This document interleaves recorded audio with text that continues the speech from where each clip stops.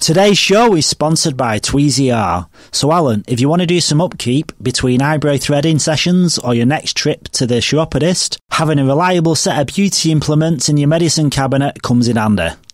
I've not been one for plucking my eyebrows, Mark, but as I've got older, I've noticed those nostril hairs and toenails are getting harder to deal with. Yeah, me too. It sounds like you need Tweezy R beauty implements. They're surgically engineered, perfectly balanced and sharpened, and made from surgical grade stainless steel. Oh, All I need now is a lifetime warranty. Well, now you mention it, Alan. Not only are they unparalleled in quality, they also come with a lifetime warranty. Get Seriously! As long as you've not lost or abused them, fill in the warranty form when you purchase your Tweezy surgically engineered tweezers and they'll be replaced for free. To order your Tweezy surgically engineered beauty implements, go to tweez-er.com and enter the promo code XPATS10 at checkout and receive 10% off your order.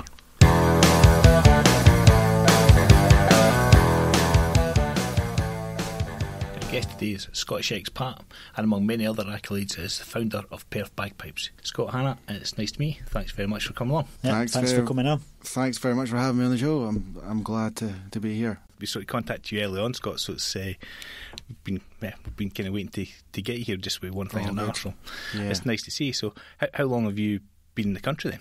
How long have I been in the country? I've been here for four and a half years now, I think. So I came over in at the end of August. Now I remember that because that was the end of the pipe band season there. Um, end of August 2016, and I came over for the job. So I applied for the, the, the job as a bagpipe player with WA Police Pipe Band. Oh, so you Scott. came over for yeah, that. for then? That's- the, the yeah. job. So I gave myself. Uh, I I just said, you know what, I'm done with Scot- Scotland. I came over here in 2014 for a family holiday with my dad, and the minute I landed in Perth, I was like, this place is awesome. And then the job came up as well. The plan was to, to do some travelling around the the world, and then to meet my brother who'd been in Brisbane for ten years, and then to find work there. But this job came up first, so I just came straight straight here um, for for the job. Yeah, in 2016. Yeah. Is your brother still in Brisbane? No, he's since moved over to Perth. Oh, so he's over here with you Yeah, now. he is is now. Yeah. Did I was, Sorry, gonna, I was going to say because I'm sure. It, it, does he look quite like you? You've got you got he's got the beard and the, he looks quite like you, doesn't he? He doesn't have a beard. He Is looks not? yo- y- y- younger than me, and his hair is not receding as much, which is which Well, isn't great. But well, uh, there was Right, somebody you- on your at you've Facebook got a- or the when you're flying your DJI, there was somebody look. I thought that must be his brother. He's no, spitting emoji. When I did that trip up north, I, I went alone. So, Yeah. but my brother's in, in Perth, but he, he does look like me, but he wasn't on that trip. Right, yeah, I must, must be. I don't know who I'm getting mixed up with. I thought this guy looked spitting emoji. I, I might be going through. Yeah, I was, I was kind of trolling through. See Yeah, who he, he and does. all- Oh, well, he's yeah, on he my was Facebook. stalking I, you. I, do a bit of stalking probably just Yeah, that's just all good. just So to get how long? info. How long were your brother in Brisbane for? Oh, he moved over when he was 21. Like Uh, he'd been over there, and then I came over, and my sister moved here as well. All right. And then when we both came, he came over here last April, last Easter, and ended up meet, meeting a bird on Tinder, and then that, that was just the final thing. And then because me and my sister are here as well, and now he's he's lives with that girl in Yeah. Le- Leederville. So. So, so you, you and your sister are here, and he Yeah, he came, he came over, over. No, no for you, but for somebody. Oh, for on yeah, I'd like to think it was for, for, for me and her, but no, it was Yeah. it was for the bird. Oh, there you go. That that's impressive. Must have been Yeah. must have been some must, kind of yeah, strong. must be nice to having all three uh, all Yeah, like, great. together. and there's one more. She's just finished her nursing degree in Dundee. Oh, she'll and she'll be getting the call to come over as well. Well, Then, we we've been trying loads, but I think my parents are subconsciously like, "Oh no, stay," but we're like, "Nah." They must be next on the list. yeah, they'll be, yeah, they'll be coming over next. Eh? They they well they, they do plan to, but I think um, they're past the age where you could do it um, on the cheap, where so it'd be quite an expensive thing. I Yeah, think. it's th- I think it's thirty thousand pound Yeah. per person. I think Which is on a- absolutely on a, insane. yeah, on a what's it called? A Is there no visa. another vis- visa you can get though that because there's three of you here already? Is that the same visa? I'm not sure. Well, I think you can get a visa. It's called like like last remaining relative Yeah, vi- that's visa, what I but they've thinking. already got they've got fa- family over there Yeah. in Sc- in Scotland, so I don't think they'd apply for that. It's just the children because we we Yeah. inquired for Karina's mum and dad, and if you've got three kids, say if you had three kids, and one of them's in Australia, one of them's in Holland, one of them's in the UK, you couldn't come because you've the the majority of your kids aren't in Australia. Yeah, that's what I but if you've got if you've got Three if of you've got or four of us kids, here, yeah. Yeah. If you've got four, if your mum and dad have got four children and three of them are here, then they'd be able to come because Mm. you'd be out where. Okay. That, So that you- may work I don't well think for you need to pay all that money. Get them all over at once. And then they can get a massive house here as well. There's, there's cultures. Well, granny, flat, granny flats are normally in our as well, aren't they? Yeah. And granny flats are bigger than homes back home. Yeah, that's true. Yeah. No, So, they're so you've been working with the, the pipe band. What, what do you do? What's the what's your kind of daily Uh, with uh, the with, with the, the Waypole. police pipe band? Yeah, Yeah, so on Mondays and Tuesdays, the band we, we work it's it's called Other Duties. So the, the the guys in the band help help out around the force. So you've you've got folk that work with like the police dogs. You've got folk that work with a mounted se- section as well. Folk that work in police recruitment, just different police stations. You know, I used to work in the social media team. Uh, I, de- I developed quite a few skills there, and then I took that back to the pipe band. So I'm like full time at the pipe band. So I, I, I do the social media for the for the band as well. Oh, this is this is awesome! I'm going to pick your brain so much now. Oh. and so we, we do that on Mondays and Tuesdays, and then on Wednesday, Thursday, Fridays we have like a band practice a week, and then we go we go out and do engagement. So we'll maybe play at like forty schools a year. We, we, we go we go, we go out to the assembly, play to the kids, and like explain to them what the bagpipes and the drums are, what the police are. And, uh, and and have some fun as well. And we, we we just play at different community events. So the the band's a community engagement tool um, that, that the police use. So so we go out to different gala days, different parades, just wherever the com- com- commissioner of the police wants a pipe band out out to play. And we do that. We play at the, the graduations for the new recruits, so we teach them how to how to march as well. So there's usually four squads that come in each year. So there's there's like it's it's it's called a grad week. So we rehearse with them all all week, and then they have their graduation on the thir- Thursday night. You know, we do police funerals as well. So we do the whole band will go for a ser- serving officer. And then it'll just be one player that goes for a re- retiring officer. So there was there was once I took a, a police car down to Albany for a funeral there. It's it's, it's mad, Oh, you know. That, that's that's a lot of respect to showing that. that that's Yeah. really nice. I like that. yeah, That's- good. And and there's folk that, that get flown up to Broome and Port Head, Headland and stuff. We drove out to Kalgoorlie once for a, a, a funeral there. Um, we went over to Sydney for the, the Edinburgh Royal the Royal Edinburgh Military Tattoo as well, which was Oh, yeah. last year. So that that goes on tour. Came to Sydney, so they flew the whole pipe band over there. We of course every minute we're playing pipes. We're on shift, so Yeah. it's it's sweet. Yeah, Yeah. you get paid for it as well. You know, it's Enjoy- great. I mean, playing your musical instrument that you obviously love, you've Yeah. been playing since you're nine, and getting paid for it. I mean, that, that's, I mean, what an And you're like experience as well, because Yeah. just being over there, being part of all that. yeah, different gigs like that. We do that. So like mon- Monday to Thursday, and then like the best gig we've done was um, when when when Paul McCartney came to Perth. So yeah, we played Mull Kintyre on the stage with him. You're Absolutely joking? insane. You were on stage with Paul on- McCartney? Yeah, it's absolutely nuts. So went the day before for a rehearsal, met him on stage. Uh, we we got fed by him, um, and then the, ne- the the next day we came for the, the show. It's just like I was like, what's going on here, Paul, man? Paul McCartney was probably like he was on stage with Scott Hannah. You, you got to remember, he's Piper of the Year 2018. Is that right? Oh, I won a like solo. Yeah, championship solo, here yeah. in, in in Perth. Yeah, yeah, I Yeah. done that, and then the the World Pipe and you won the uh, Shotts with, with Shotts in Dykehead. World Pipe, Band Band. Championships Won- 2015. Yeah. Paul McCartney. He's, like- that's Scott Hannah. I know him. That's pretty cool, though, mate. Yeah, yeah, it was fun. So we had some pretty awesome, awesome gigs. You know, the band also went to, I think they, they went to the tattoo in Russia as well in 2001. Like I can't believe the job that the, exists. the job exists. It's absolutely nuts. I mean, to recruit someone from Scotland Yeah. to join a police force pipe.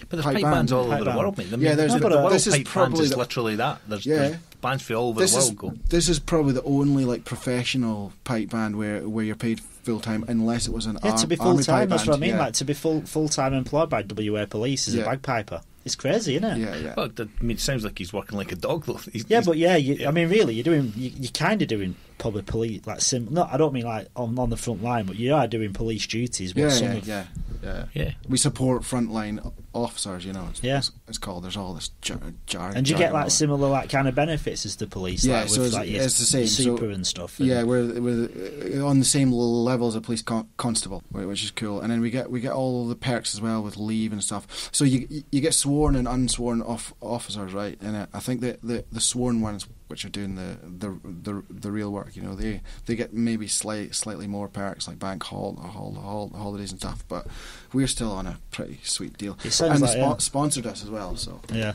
yeah, so it's Yeah, and that's getting sponsored for getting here must be quite good. A lot of people struggle to get. Ah, like, well, I boy didn't- come but can't get yeah, here. I didn't realise how, how hard, hard it was to get sponsorship here until I joined the police, and then I started to make friends who were expats well, and they're like, "Oh, I'm just trying to get a four five seven and all this, try to do my farm work and all," that. and I'm like, "What?" You just had Yeah. it. Yeah, yeah, it's to just like hand, handed to me on a plate, so very, very luck, lucky, you know. It's good. Yeah, but yeah, as- I don't suppose I don't suppose it's luck, is it? Because there's a skill to what you do, and you've been Worked you've been learning kid, it uh, since you were a kid. Yeah, Yeah. yeah. So it might see, it might come across as like you've been lucky, but you've put the, you've put the hours in, you've put the work in, haven't you? And Yeah, all that stuff. Yeah. that's that's what you get rewarded for when coming here. There What- was a police pipe band in in Strathclyde, of course, which going is to now say, yeah, changed. that's the only one I knew was actually the Strathclyde Police Pipe Band. I didn't realise it was a Tayside actually. To Oh, there was, yeah. So, well, the band now is called Police Scot- Scotland, no, but I think they Yeah. do still have pipe, pipe bands around because you had Grampian Police as well, Lothian and Bor- Borders Police pipe band as well. So, What, what got you into it in the first place? I mean, nine year old, pretty young. I mean, I, I think Aye, that's, that's yeah. an optimum age, isn't it? One of my mates told me that. I don't know if that's I true. think it is. There's so But many you players. move your fingers and stuff straight. Um, we were walking past a music shop in Forfar with my mum. Went past the shop and she saw a set of pipes there and said, "Do you want to learn pipes?" And I'm like, "What?" She's like, "Do, do you want to learn pipes?" And I'm like, "Oh yeah, sure." And then that was it.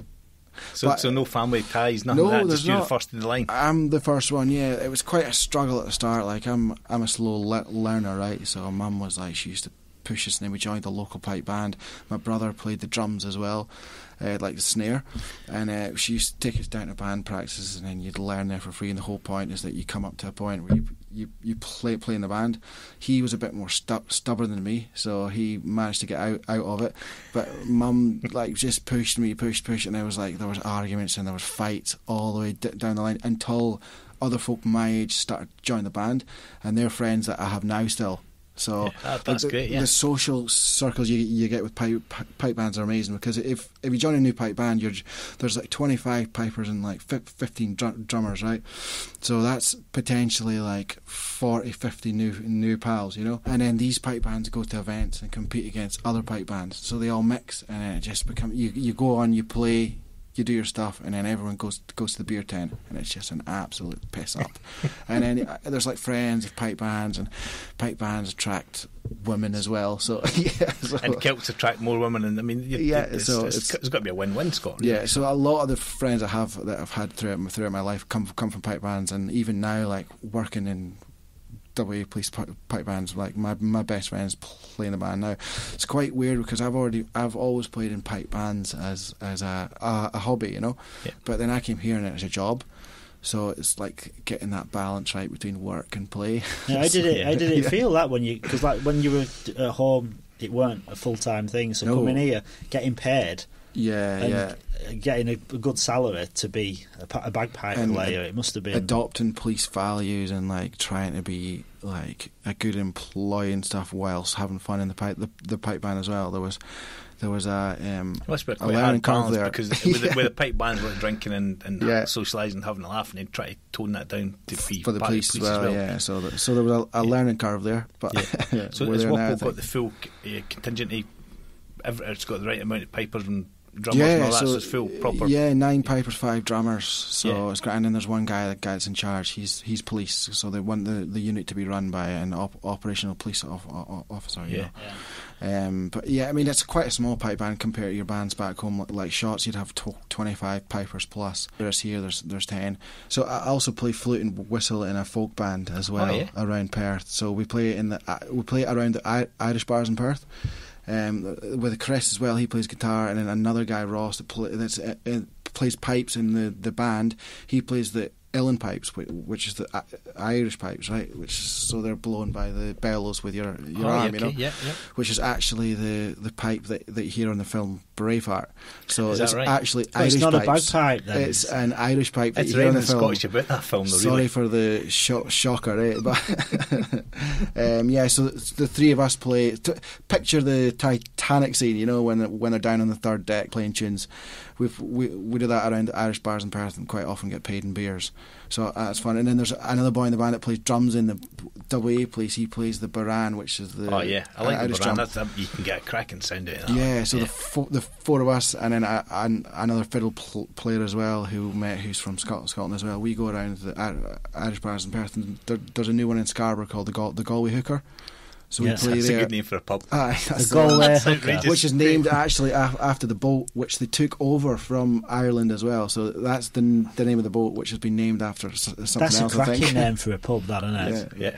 So uh, that's in Scarborough. We're there every Wednesday night playing tunes from six till nine. So whereabouts is that? Is that like on the foreshore? yeah, then? it's just beside um, the Lookout Bar. Yeah, Right. it's Oh, yeah, it's a on nice the, wee bar as the main yeah. strip. Yeah, Yeah, I know, just yeah, yeah. So what's what's the name of the band then? uh, called Bachrum. Backroom. That's Right, so we called the name Bachram, which is B A C H R A M, um, which means boisterous in Gaelic, I think. I think I'm not 100 percent sure, but it also means dried cow shite. So we're Oh, like, right, right, we should yeah. probably cha- change that. yeah, it's not So- a good name. Then. yeah, so we changed it to Bachrum, so B A C H R U M. So that's just our own word that we cr- Yeah. created, you know. And uh, yeah, Yeah. we, we play around. There's another Irish bar in the north, which is called the Anchovine. And we play in there uh, like once a month. Um, that's good. And then there's a new one called Johnny Fox's as well, which just replaced Rosie O'Grady's. Oh yeah, yeah. I heard that changed hands or something. Yeah. It one of your guests mentioned that before. yeah, so we, we play in there. And then there's one called the Mighty Quinn as well, playing there. Is that the one in Subi? What's the one in Subi that is? No, the Mighty Mighty oh, Quinn, is JB O'Reilly's. Is that- JB O'Reilly's. That's the one he used The to go to Mighty Quinn on was it? On like Wanneroo- not Wanneroo Wanneroo Road, Road. yeah, on the way up when Yeah. you're, you're leaving Perth, just well, yeah, Cat, I I drove past it. I've never been in it. Yeah, it's like one of them pubs where you, you Yeah, good so we, night. we're just in there. We play tunes. We we get paid a bit. We get some food. We get we get some drinks. We just it's You just have a fun for us, you know. Yeah, yeah, it's good. Ideal, yeah. That sounds like a well, Yeah, keeps it you does healthy. well. Well, considering you've been here, multi-talented. you've been here four years, you've seemed to have like integrated pretty damn well. Oh well, and you, you've seen like you've got a hell of a social life as well. yeah, it's good good fun. Like So other than your pipe and stuff, do you got any other social things? What what do you do? oh, so we play, we'll play a lot in the band as well. And the the, the Uilleann Piper that pl- plays as well. He's like a seriously gifted musician. He's been playing Uilleann pipes for years. So I spend quite a lot of time practicing the is, flute is and that the a whistle. different thing for the? I mean, what's it like playing that to the Yeah, bagpipes? Is so a difference in uh, it? pipes, you know, it's just like you're you're one scale. So it's but whereas the flute and the whistle, you, you get two, three oc- octaves. You know, so Yeah. you have much more variety of tunes, um, and it's much more so sociable too, right? I mean, the pipes are really really loud. It's like if you were to play the, the pipes in a room, it's like everybody has to stop, and they're like, right, okay, Yeah. we're listening to bag, bagpipes now. Whereas like a traditional band you can sit and play in the corner, and folk can en- enjoy it. So it's much more fun like that, you know. And all the tunes you can play on bagpipes, you can shoot, you can play on the flute and the whistle as well. They both have the same fing- fingering as well. Whereas you can't play the tunes on the all the tunes on the whistle on pipes because it's got much less notes. Okay. But the the bagpipes are an entirely different instrument. You know, what I mean, they, they were they were used as a war instrument. But One of my mates back home, he's got his. It must be his great grandfather's uh, pipes that he t- took in the trenches in World War One, Yeah, yeah. and he went up over the, the top of the trench with him and that. And they're they're, they're black uh, ebony, Yeah, with, yeah. with silver. I mean, they're, they're, honest, I've seen them they'll once in his house. worth a ab- lot of money now. Like, they're, look, they're, yeah. they're priceless to him. He's, he, he, his Yeah. son actually plays the pipes as well. He, he was playing with, uh, what's he, Clackmanager pipe band. Oh, there's loads of pipe bands around But yeah, he, he was Yeah. only, I mean, that was, when I worked with Rab, that was he, died. his youngest boy. He was only seven, it wasn't his youngest boy. His boy was playing the pipes only started at seven, but he was, he was Rab was desperate to get him his pipes, Yeah. and I think he, he has played them now and stuff like that. Oh, as well, that's but yeah, they're incredible. So, he. Yeah, because these old these old pipes as well. Some of them have got ivory on them as well, which is and uh, you still get ivory pipes now. I think they're made from really old bil- billiard balls, you know. But of course, there's no there's no new ivory pipes because there's such Yeah. strict laws Yeah. Ar- around that now. I'm I'm actually trying to get my ivory pipes sent over from Scotland now because my stepdad makes pipes. Um, so his pipes that he made for me, I'm trying to get them over because I, I wasn't sure when I moved here if if I was going to stay here full time. So I just left them with, with my dad Yeah. and there's such so many hoops you have to jump through. It's called CITES now. You have to get certificates. You have to prove where the, the ivory came came Yeah. from and all sorts. He made the pipes in 2015, but the the I, ivory was from old old balls. You know, he re, returned them. Yeah, It's an interesting profession as well. I would Yeah. imagine they, they very ship- very hand, ships handy as well, world. wasn't it? yeah, yeah. I can imagine being a bagpipe maker. I, can, I bet they, they get more orders overseas than probably what they yeah, do they in Scotland. do. Uh, uh, that's true. He he- he actually shipped loads loads of pipes over to to Australia. You know, that's quite a, a lonely.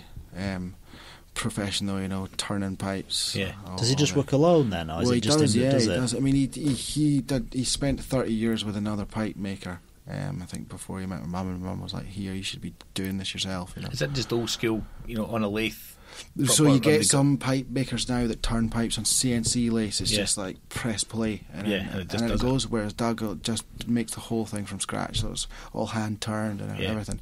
I'm, I'm sure I've seen like I think it's a, like a Weir's Way or some years ago, and this guy was hand turning pipes and stuff. Hand-turning Thinking, man, pipes. like There's that. got to be something like nostalgic about that though, and it's got like a, an appeal, and it? If if they've actually Hand handmade, turned, yeah, yeah. yeah, I can imagine if someone's going to buy a bagpipe, They, they, they, want, to they be want a quality thing. product, they want something that's had blood, sweat, and tears put into it, Yeah. rather than just a machine that's That's fired it out. Yeah, uh, that's the thing. And p- pipers now they're they're they're traditionalists, you know, so they they Yeah. love they love to go back to, to the way it was.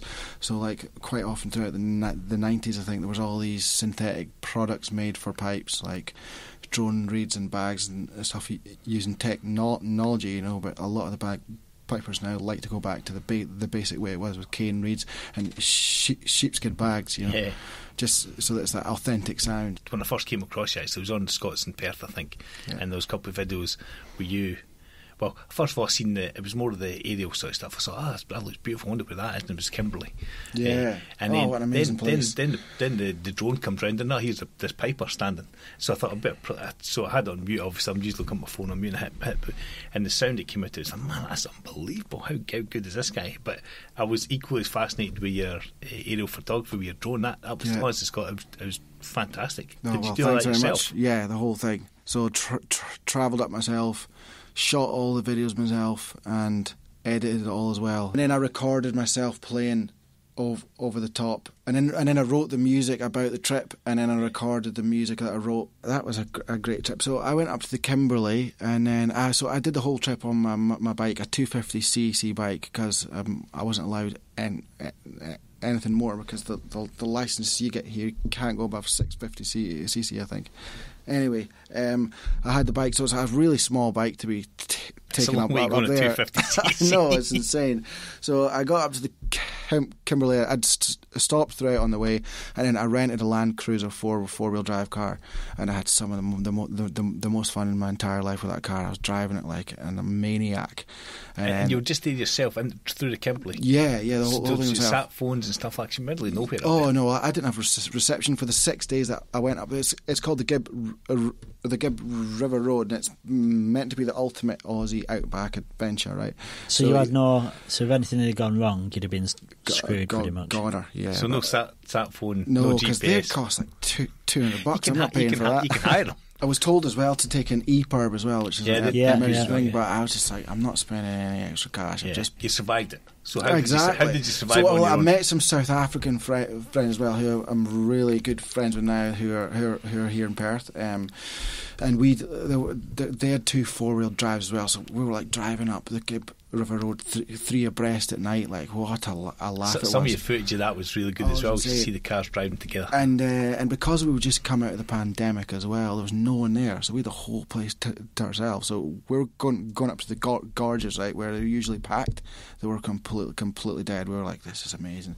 So I had some experiences there, which I probably will never ever have again.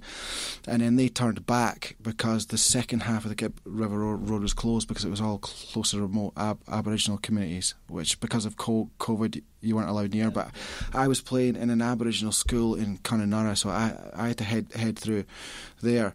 Um, but during that trip, I completely wrecked the four wheel drive. Right, so I popped two two of the tires, uh, bent one of the rims, uh, cracked the windscreen, broke the radiator, broke the radiator guard, blew a couple fuses, just driving it like an a- and it's like Driving a, like you stole it. a hundred and ten thousand dollar Land Cruiser, you know. So these are expensive cars, right? Managed to get it back round to the guy, and then You and, must I was, have been. He can't have been happy. and then I was just like, "Sorry, mate," you know. you know, I think you took the insurance cover on it. Yeah, so you know, I, I did. Good you job. know, so that, that was money saved on the EPIRB right Ex- exactly. So so grand. So I had had all these expenses back back to paying and I, and I was skint, right? And I was like, right, can I do some work for you? And then, and he was like, yeah, sure. This guy was like absolutely minted, right? So he has this massive house in D- Derby. He's a Toy- Toyota mechanic. Him and his wife run this car hire company. They've got like thirty don- dongas as well, which is like a, a shack where folk come to live. So work workies come up there to, to, to work on the roads. They st- stay in there, right? turns out as well he's got five choppers as well, right? this Oh, right, guy's an yes. absolute legend, right? Yeah.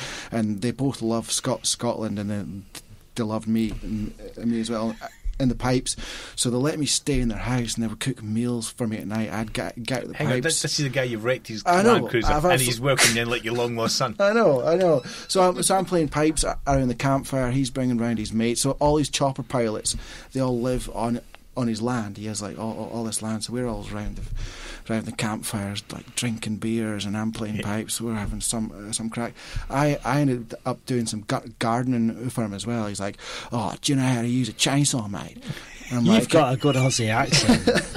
that is amazing. And I'm like, I sound fucking like I have no idea how to use chainsaw. I've, I've never worked with my hands, so of course I'm going round this this the side of the house with my phone, like uh, do's and don'ts of cha- chainsaw use. It's absolutely right. So I'm like chopping down fucking trees, he- trimming hedges, driving his hydraulic truck around to p- pick up all the crap.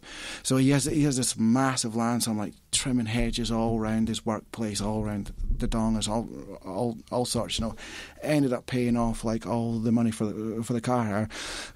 He turns out he he, he runs a heli fishing business as well. So and it cost about two two thousand dollars to go out. So I I was about to leave and I was like, oh here, um, do you want to come out in the chopper tomorrow? You know, and I'm like, okay, well I'll stay another day. So so they take you up to places throughout um, the the Derby pen, Peninsula. Right? It's places that four four four wheel drives can't go. So they're they're they're flying to where the tide come comes in, right? And they're flying low to scare away the salt wa- water crocs, which are ab- ab- absolutely huge. Oh yeah, they're like, well, they, they're, they're moving away. So you land in places that, that you can't get to with cars. You wait for the the um, the tide to come in. You catch whitebait with a net, and then you use that to catch bu- barramundi, Monday, right? So so we were going out there. We were like, Crocodile Dundee, it sounds like oh, it's great. And then we were like la- landing at this places. We were sitting on this cool box drinking beers while this, these guys were like were fishing. And I, I was like, what is happening here, man? And then and then and then we went back. And so I stayed with them for about six seven days. But the moral of the sto- story is the next time you get a hire car, make sure and wreck it. yeah, just wreck it. And I think I think Mark and I reckon it would be a different thing for you reckon it, considering you you paid for your supper we playing the pipes. Ah, so he- Mark and I, yeah. you you paid for your supper in far different ways for him. yeah, No, but these people were the nice folk ever met in their life. Family run business. They're um, Dave and Maria Preedy from uh, it's called Kimberley Car Car Hire. So if Emery's up up up there, that But what what's going on in the background with the Oh, with the choppers, choppers and and that? It, sound- everything. it's- it sounds like a, an Australian version of like Yellowstone with Kevin Costner. Did you not did not get branded as well? No, no, no, no, no, it's great. But, I mean, these guys took took me in, and so so Dave was the the guy that ran the thing. He's he's the king of the Kim, Kimberley, right? Because he came up from Perth as a mechanic just and just built this empire from scratch. And their four kids are now d- down in Perth. Um, I've seen them since, so they came up for came down for Christmas to visit their kids, and we all had, I think it was like the twenty eighth. I think we all had a That, that's nice. Man, you must have made quite an impression if you only met them for like Oh, six or were seven days. absolute le- legends, you know. So the the, re- the reason that I went on on that trip as well is because I at the start of 2020 I went over to India to travel around Asia um, on a bike.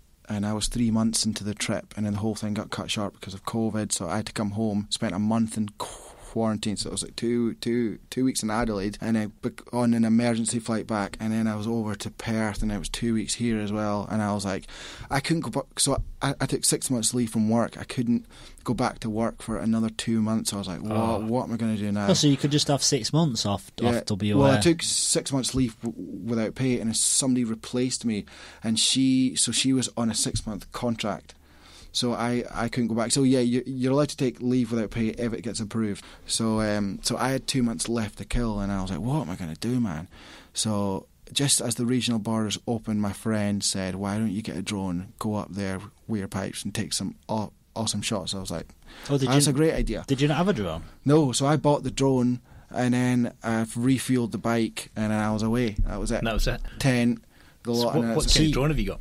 so it's a, a Mavic Mini. So it's the Oh, not yeah, the the- Mavic Mini yeah. Two. It's the one that's not 4K, but still. Like, yeah. So the great uh, footage you had on it. Yeah, but even when you do the, the automated flight modes, it, it doesn't even go to the 2.7k an- an- anyway. So th- there's four flight modes. There's there's um, there's one that spins round you in a circle. There's one that's called he- helix, which goes around and up. There's one that goes backwards, and then there's one that goes directly above.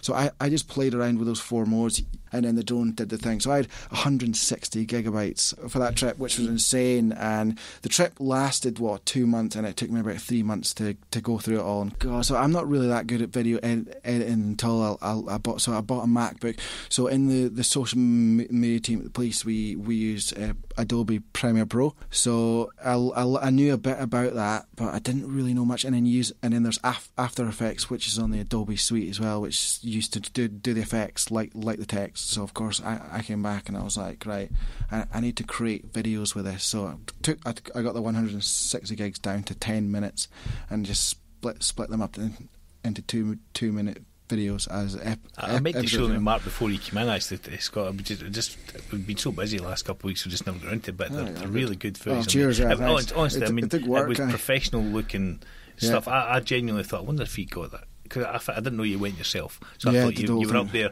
I'm thinking he's up there, full camera team, all the rest of it. Oh, you no, did it yourself. You no. edited it Well, for anyone that's like watched that video now and they've listened to this, like two months in the Kimberley, Oh my 160 gig of footage, Aye.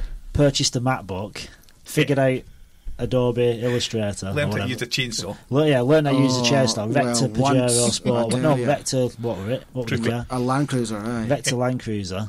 Aye, that was uh, so. I'd t- taken six months off to do this trip around Asia, right? And I, I, I came back. I was seriously depressed because you know I was like, oh my god, I've been planning this trip for my. Because I planned when I came over to Oz, I'd planned to go to Brisbane first because my bro- brother there was there, so I planned to travel through Asia anyway and arrive there. The job here came first, so I'd always planned to do this trip.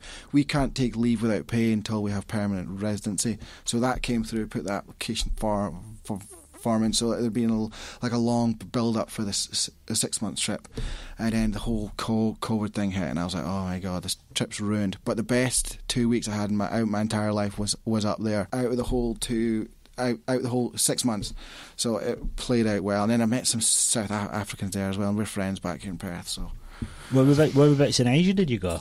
Uh, so went to India first, and I did about three thousand kilometers through India on a bike I bought there, and then I mean the pl- the plan was to do the whole of Southeast Asia, but this kept getting cut short. So I was going to do about, two two months in India, and then move, move on. So I only got got to see India. And what did what did where did you when you were in India? Where did you stay? Oh, so oh, hostels and stu- stuff because I like to to meet folk my own age. So I was ma- mainly in hostels, but there's some places where you can't go into hostels, you know, just because there's none around or you arrive l- late at night the bike. So I did like the, Delhi. I bought, I bought the bike in Jaipur, went through the whole of Rajasthan, and then down. Oh, down through Ahmedabad, Mumbai, and then I, and I was in Goa, and then that's where the lo- the, the lockdown hit hard. So I was in a, a, ho- a hostel there with with friends. It was painted in the the media as an absolutely hor- horrible place where the the police were thrashing you with sticks. I've seen the footage That like, of was where people absolute they- bullshit. Yeah, So, Is that right? Yeah, oh it's yeah, complete fiction. yeah, it was. I mean, there was police standing around with sticks. I, th- I think they were just y- using them to gu- guide folk. Yeah, you know, point and stick. Yeah, I over had, there. I had n- none of that at all. So I, I, I lived in a hostel there for about about six weeks with uh, like half backpackers, half Indians. There, we all threw in our money together, and we all cooked and cleaned the place together because the business the the hostel owner couldn't get b- business, you know. So we agreed to keep the place going for him, and uh, it it was like the beach. You know the film The Beach. Oh, it, yeah, was yeah, just, yeah. it was just this com- community of folk. There was fifteen of us there, and we just I just had an ama- amazing time That that's some. You must have made some serious friendships. Eh? mate, Doing six Ah. weeks of that that sort of in that in close- that place. Yeah, exactly. we- yeah it's we like an inti- it's like an intimate experience, Yeah, isn't because it? When all you, the bars were closed, so we, we couldn't like leave. We couldn't. Well, we we were on the beach, so we did go down to the beach. But the in, Indians were really scared of co- COVID, right? So they all like abided by by, by the rules. So we only went out to shops to to get food.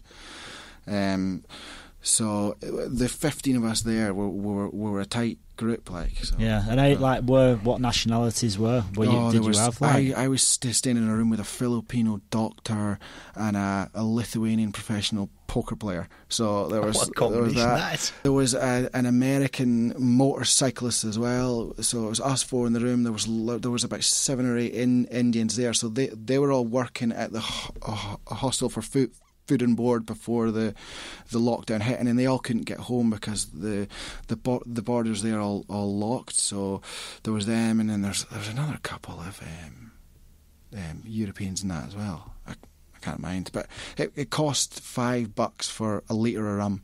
You can imagine the the car, car carnage that That ensued just there. medicinal rum. yeah, Five though.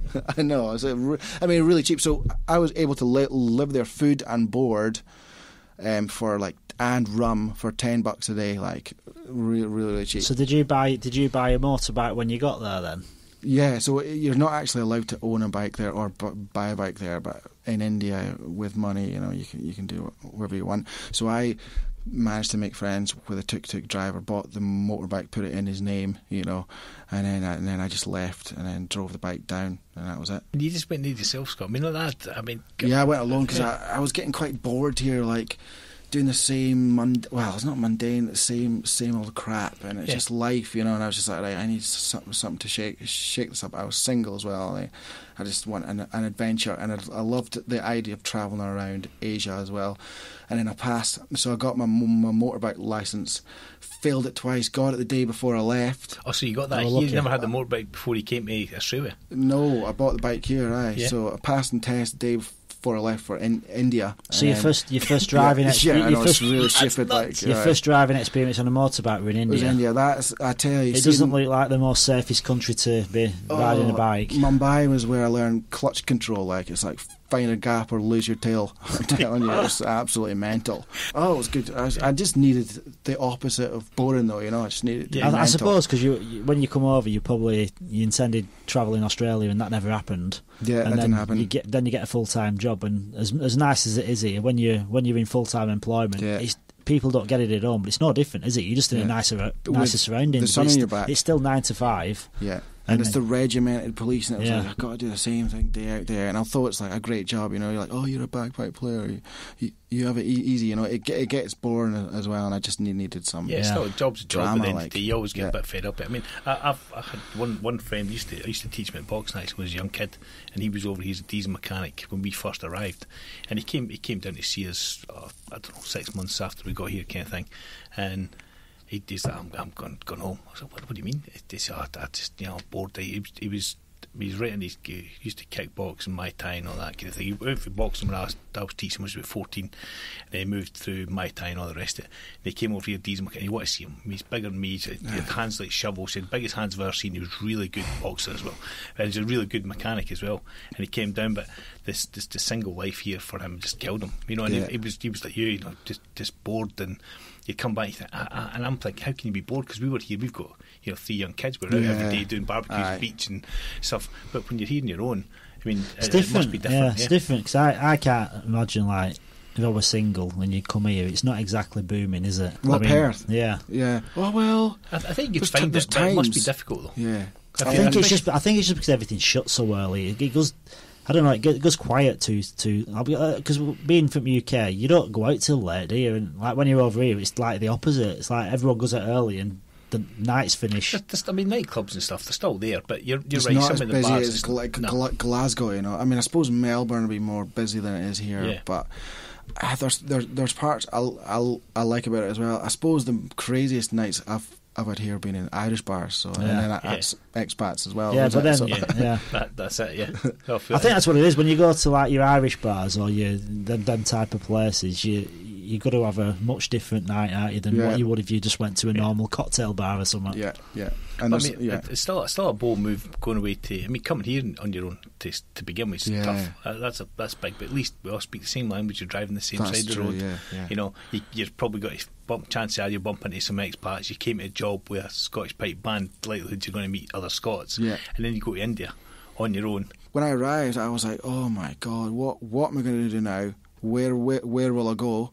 You know, I had I, I arrived with six months, and I'm like, "Oh shit." Had you not planned any? No, No, I hadn't planned any of it. So you just you just just booked your flight and thought, right, that I'll was it. decide when I The- get there. The, the, the, the flight was two hundred and ninety bucks as well, and I was just like, I, I How, had. how did you get a flight ticket for two hundred It's mental, isn't from, it? From where did you From fly? Perth. From And the You flight, the can't flight back was Broome for that. the flight back was two two and a half grand because of the, Oh, yeah, the yeah.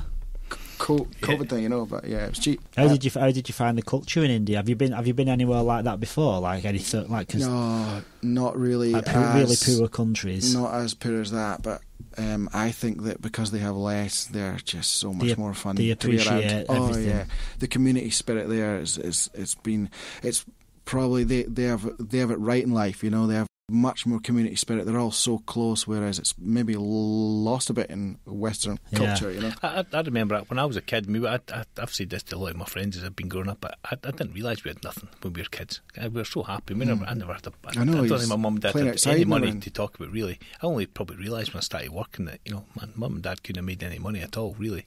And but we had a great life though. You know, and then now, now Yeah. kids are like they're, they're so used to having everything so quick. And I mean, I, yes, it's a material. West the Western world now is just a materialistic but we used world, to be isn't it? happy, iPads and be all happy that. nothing. You know, we were ha- and you never knew.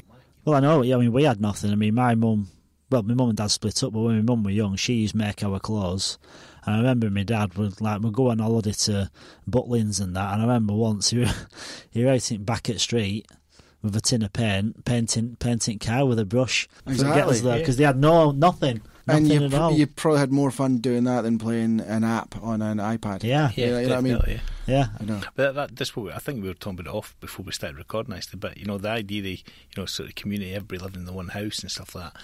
It's I, I think it's a great idea. Honestly, I, I would love it. I don't think my kids would do it, to be honest. But um, you never It's- know. it's As not- you get older, I might ask them. The thing is, it's normal, isn't it? For like these, for the for like your your Asian countries, Oh, and loads it's having looking after your parents is like Yeah.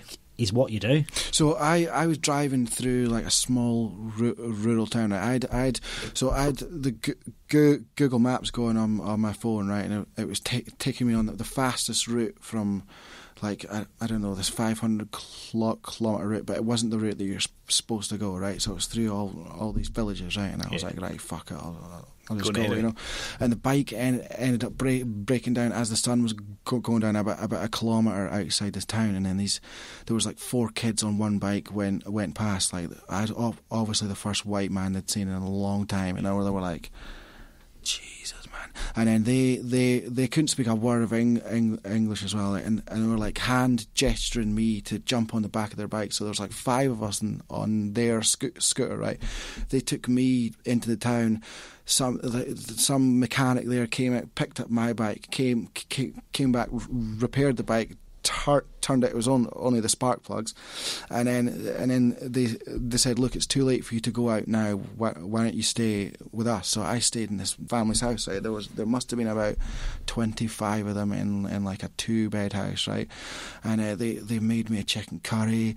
This the the dad was like walking me around the town, holding holding my my hand. I'm I'm like, this is getting weird. And he's taking me around to like a wedding that's going on, and like he, he was taking me around all all his friends. And we're like, look, look at this boy, this man the here. Scotsman. Yeah, Did you have yeah. your pipes under your arm? Yeah, yeah, played played them a, ch- a tune the pipes, and they were just so amazing. They were like so like genuinely help helpful too. And then and then they took me to this Indian wedding as well. And like the photographer was taking more pictures of me with the guests than the bride and the groom. It's like, you, like it's, it's, yeah, it's It's as if you're local some kind of celebrity. I yeah. know, I know. Maybe thought you insane. were Ewan McGregor. I know. I Do you know what? I was thinking that you would. They probably thought, "Oh God, it's the long way down." Yeah. it's Ewan. It's Ewan It's McGregor. That's, that's what it is on on, on the I, bike did, side. did, I bet that's what it felt like, though. Did you feel like you were doing It the was- long way down or something, travelling? It was amazing, eh? It just oh. That's nice. I mean, that that's Yeah, fantastic. I mean, community, so though, I isn't mean, it? I did, like that's that community vibe was just amazing. And then the, Yeah. the the next day they fed me as well, and then I, I went on my, um, my my way, you know, and they're like, "Oh, bye, bye." And did they, up, you know. and they did all that just for just, for helping just you to help out. me out. Yeah, That's fantastic. And you don't hear you don't hear enough of that. Can you? Yeah, I think that's the thing. In it, third world countries, they might be the poorest. Well, they're obviously the poorest countries in the world, but the, Nicest the, the family and the, the values that they have, everyone could take from them. It, it's the same the world over. Though. I think. I, I mean, I- When I you've think got nothing- when you've got nothing, you, you'd happier giving. You give more. Yeah. Yeah, You give definitely. ev- everything when you. When I mean, to a nothing. complete stranger, just some guy Yeah. that brought down on a bike, Yeah. Yeah. and he's holding your hand and taking Oh, you taking around. around the town, and I'm like, what's going on But here? that, that, that, would, that happened here. I, I know for a fact that happened here. There was a guy from, I think he was from the Netherlands, and he was he was trying to go from Broome or something down to you know Albany or something on an electric car or something like that. Was, I think it was an electric car, and whatever happened, he made it to Alkmaar there, and uh, her friends uh, Zoe and her husband Lee. They, they put him up for a night and let him charge his car up and things and stuff like that. And, you know, just, just and apparently had had loads of sort of help on the way down. So there's, you know, Were he like doing something on social media to let it people it know what like they that. I were doing? remember Yeah, the full and story, that's but, it. that, but Yeah, because that's that people will help out for that because then they're getting they get to put on- acknowledgement, don't they? Yeah, oh, well, like- that, that that might well be the case, but I can assure you that's that's not why Zoe uh, helped him out. Like she just helped him out Yeah. because there was a guy struggling, and I, th- I think that's what people do. You see somebody struggle, you want to help them out, don't you? Yeah. that's human nature, really. Yeah, uh, that's, that's true. But I think here there'll be more ap- apprehension too. They'll be like, oh, he's this weird, weird guy Yeah. yeah. as well. I mean, it's a, a country that's smaller than Australia, right? And they've got 1.4 billion folk there, so there's there's no weird man st- standing around. It's like ants. Yeah, there's, everywhere. there's Everywhere. folk ev- And, everywhere. It's- and that's yeah, madness. and I, it it comes to life more at night as well, doesn't oh it? yeah, yeah. It's you think of it as a poor country, which it is. It's got like really. But real- it's not. It's it got doesn't- real. It's got a lot of poverty, but it's it's going to be one of the superpowers because there, there's so much infrastructure going into India and, and even plenty of money even there as Pakistan. It's going to it's going to be replacing um, China at some point. I believe Apple. I believe Apple have just pulled out of China and now they've gone straight into India. I would suggest any, anybody to go there, especially alo- alone as well, because I was concerned about oh, who, where, where we'll go and, and what, what will I do now? But I'm, I was meeting new folk every day, and then you, you meet some random like Dutch guy, and he's he's going up to see this, and he's like, oh, do you want to come, mate? And I'm like, ah, sure. Then uh, and then that's the next four four days sorted, you know. Yeah. I suppose So that's that's that's good. what that's the one of perks of going on your own Yeah, as well, yeah. isn't it? Because Yeah. like if you were your partner, or you might feel a bit. Yeah, like you've got to ask them, and then they oh, we don't want to go with that weirdo. But it's I know. somebody else to look after as well. And I think that's fear. You take somebody with you, then you're, you're responsible for them. so you have to make sure they're much safe easier, and stuff. But you go yourself, you're like, who cares? Did you did you have any like preconceptions before you went that like you might not be like feel safe or you I might, wanted to feel unsafe. I, I, I wanted to shake things up so it was the opposite of my life here. I, I wanted to be reckless, unsafe, and just yeah ma- just do what you time. wanted to and see Yeah. what happens. Yeah, just to to, to get the heart pump, pumping a bit. I think. Yeah, It's, it's good to do something to get the heart pumping into. Oh, It doesn't oh, matter what aye. it is. It you just- have to do it. yeah, you, you need do to have yeah. either like a project in life, you know, or you, you need to have something to just that's going on. You, know, You've got 'cause- to take risks. I mean, well, Yeah. we're, I think we're on the same boat. We've all, we've all taken I mean kind of coming risk here coming is a here. risk, isn't it? Yeah, yeah. Exactly, and I think come come here on your own, it's got a risk. But coming here, coming here with a family, it's maybe got a different kind of risk for that. I mean, the risk for me coming here with my family is like, you know, what if the kids don't like, what if the wife's not happy, you know? Yeah. Then, then it's like, what I love it, she doesn't, she loves it, I don't. You know, they- they're all risks, but you're coming on your own, it's like, well, Yeah, so me and my friend Chris, we, we arrived on on the same flight. Um, so I knew him from a different pipe band, and so I knew of him, but we weren't friends, so we didn't r- really know know each other all that well. And then we met. so you never came over together. Though. You just, you just, Well, we- you just happened to be in the same. Oh, so place, he was coming the same over for the same job. So we both got the job that, that were up at the same time, and then we were both ch- chatting to each other on fa- Facebook, right? And I was like, "All right, mate, con- con- congratulations, blah blah blah." And it was like, "Right, I'll book the flights f- f- for us both because we had mutual friends." And then I was like, "Right, do you want to do two two day- days in Bangkok?" Eh? And I was like, "I sound okay." So Dan, so we became friends there.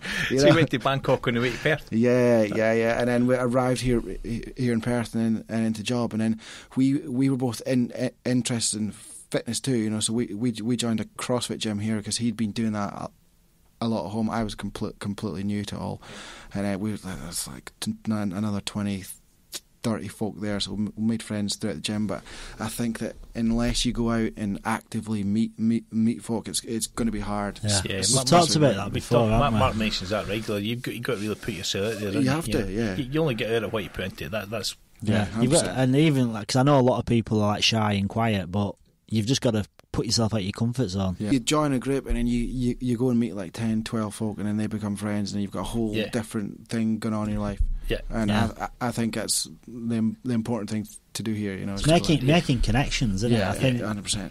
Yeah. Yeah, My mum used to say, "You've got a good Scottish tongue in your head."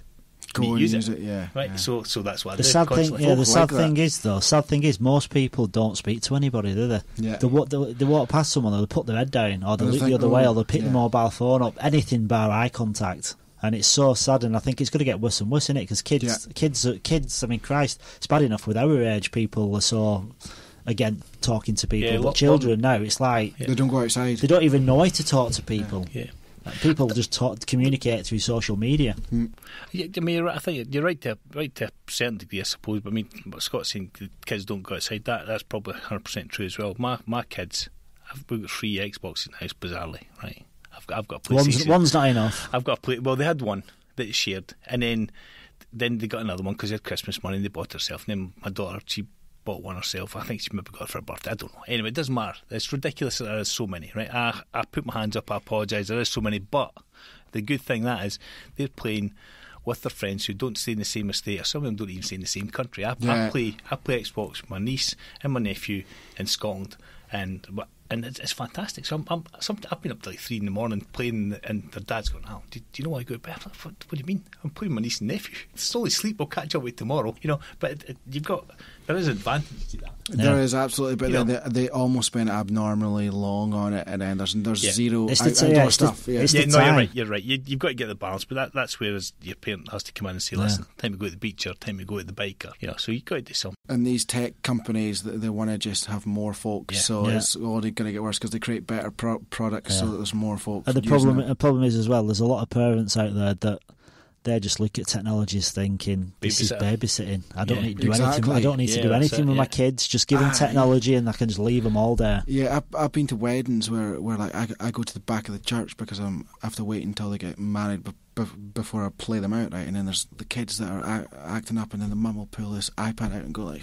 It's weird, isn't it? When you go out and you see people, and especially like if you see couples, or you see a, you see a group of friends, and you see you see it more with like if you, if you see like um, groups of women, especially. Oh my god, they just they're all together, but they're all on the phones. I mean, with guys, it don't seem to happen as much. Like if I go out with my mates, I've never pulled my phone out because you just engage, don't you're, you? you're you're you're right as well. I can see it getting worse. It's just like knowing when to use it and when not.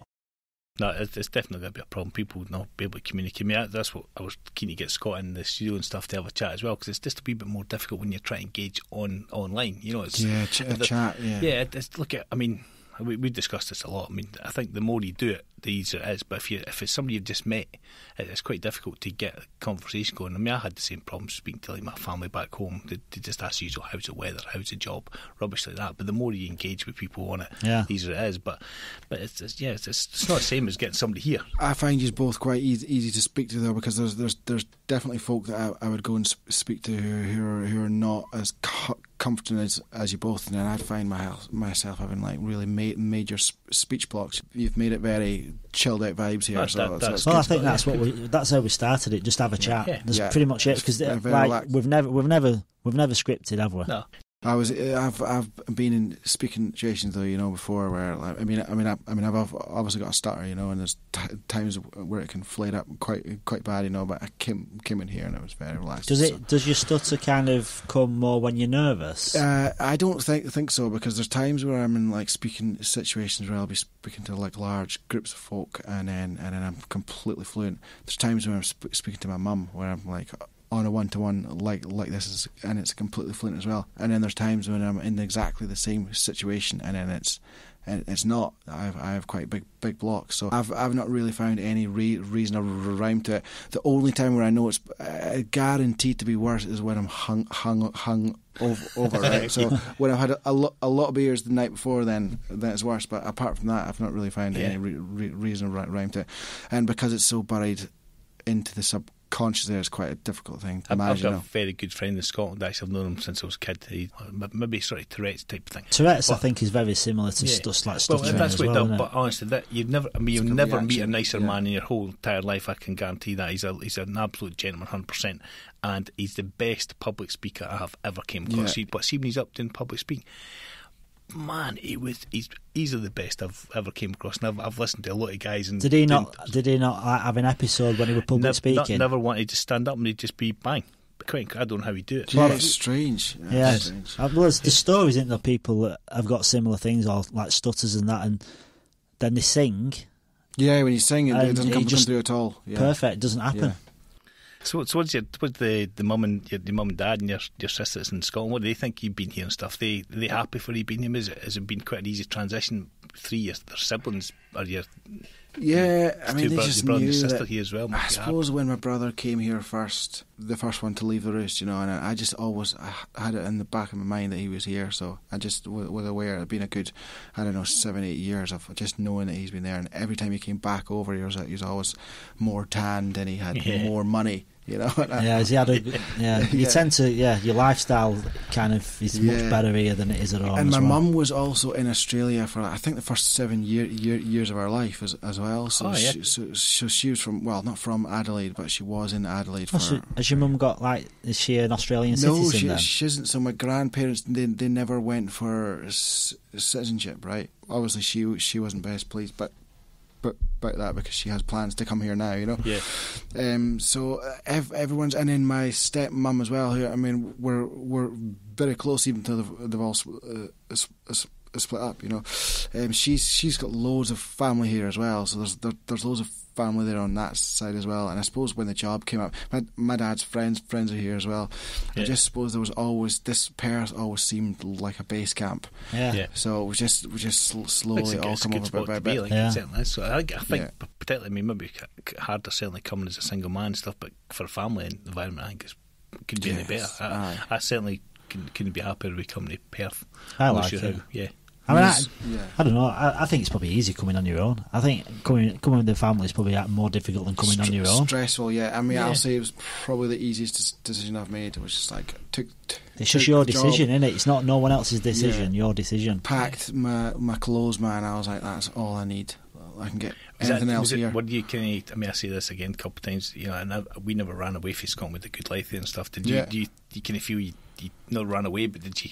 Were you trying to escape it, or were you just looking for something different? Or Oh, I was looking for something different. I suppose when I came, I came here in two, 2004, 14, I'd already seen the place, uh, and I thought it was unreal. You know, I, I used to work with young offenders back in um, Edinburgh and Glasgow, right? So we used to work with them when they were in jail. Yeah. You know, um, Pol- Polmont, young yeah, yeah. Uh, my, one of my there. best mates used to be. He was. I think it was his first job as a prison officer. Was in Aye. young offenders. Yeah. The stories he. I need to tell this quick story. Yeah, I went on. You go. Don't yeah. to divert off, right? But, so my mate John, he's working Polmont, uh, young offenders, and I I don't think he was driving the van, right? But what they did, they took him to. Uh, what's it called? Blair Drum. You know Blair Drummond Safari Yeah, Park. I know so that, yeah. they, they take some, the kids to Blair Drummond Safari the Park, right? tree treetop walks and all that. yeah, all, all that kind Adventures, of stuff. So he gets in and he gets to the gate, and they go into the ranger station. The ranger sits them all, all, these you know young offenders down and says, "Right, okay, look, this is what happens. You have to do this, this, and this. When you, you don't open the van and, uh, doors unless you're told, etc., etc., etc." Yeah, okay. So they're out there. They're driving through the lion enclosure, right? The lion enclosure. Lion enclosure, right? Kids open the van, jump out, start kicking the ball around in the, the line And the the prison guard that he's sitting in front, going, "What the fuck?" And he's shouting, "I'll get back in." Next thing, the ranger comes on over his big Range Rover king, and he's up at the sunroof shouting to him, "Yo, get back in the van! The fucking lines! He's get back in the van!" And he says that one of the young kids goes, "We're not touching your fucking lines. We're not. Just what- We're not touching your lines." they, didn't, they didn't see the threat at all. Classic. Yeah, expect to be speaking for like half an hour tops. But it's been good fun, though, Scott. I hear, no, been- it's great. People who say yes to things, they're easy going. I- right? I'm always You a know? yes man. I think everyone that comes on this program is a yes man. Yeah, I'll have to I, be, think, I think to I think to be I think to be an expat, you've got to be more prepared to say yes and yeah to say Hundred no. percent. Do you agree? Like people that say yeah all the time, doors always open Yeah, I think so. and yeah, things yeah. work out. You make you make you you meet way more friends, and I think you see the positive side of car- karma as well. Like when you, Ah, you're Yeah, always- definitely. I think if you make an effort, like a coming coming here, it's as if karma rewards you Well, that's And that's true. Yeah, for making great. the effort, Yeah, and I think yeah. it's true in it. Yeah, it's look you, you say yes, things happen, right? You say no, nothing's going to happen. Simple as that. Too many Yeah. people say no, and they wonder why nothing ever happens, right. and they wonder why they're stuck in a rut. Yeah, Absolutely never- agree with yeah. that. Yeah, yeah, yeah. no, there, 100%. there's no question about that. So I mean, I know some people probably pessimistic as well, aren't they? Like my my two brothers, they'd love to be here, but I think getting here it's probably just too much for them Yeah. to contemplate. And I think if they'd have t- if they if they'd have thought bugger it, I'm going to take the plunge, they could have been here. There'd be so much d- different things that happening to them. Yeah. Yeah. and I wish they would because I'd love, to, I'd love to have them here. Like you're so fortunate to have you. Yeah, Oh, yeah, it's I'm- I feel fortunate. As, as Yeah, well, there's nothing Yeah. like having family around. Yeah, so even if huge even if you ever felt like you were getting homesick, which you probably never would because you've got brother and sister here, Yeah, yeah. and you've got that much family here, I think it'd make a big yeah. If if if, if like my, like my, my wife, she's really homesick as I've said before, and I think if she could have family here, it, it'd change so much. Yeah. And I suppose one of the great things then about technology is you know that you have fa- FaceTime and things like Yeah. like this. Uh, I think all of us sort of in the same kind of boat. We we Yeah, embrace. you you, you've got to embrace it as well. Oh, you know, 100%, a lot, a lot yeah. of people just go, "No, it's too hard." nah, You know, like, no, You just have to adapt. Yeah, adapt, improvise, and overcome. I said Bear Grylls. well, you, you, you're closer to Bear Grylls than any else, anyway. Yeah. well, I didn't drink my own piss, FYI. but you're right. You go outside your comfort zone, then Yeah. gr- great things happen. I think that's a really good spot to stop on. Going outside your Yeah. comfort zone, great things happen. That Yeah. is a that's a statement to finish on. I think. Yeah, excellent. Thanks very much for coming, mate. It's been an absolute yeah, pleasure. Pleasure talking for me you. as well. it's been really good speaking Fascinating to you. listening to your story and getting here. And no, thanks very much. Yeah, and Appreciate it. again, you're not just a bagpiper. There's more to. There's more. There's more behind you. There's you're more the risk taker. the, the man, risk taker, bagpiper. Thank Appreciate you. it. Thanks Thank for coming, you. mate. Thanks. Thanks for listening, and if you enjoyed the show as much as we did, follow us on Instagram and Facebook at Expats and Cork Hats, and hit that subscribe button.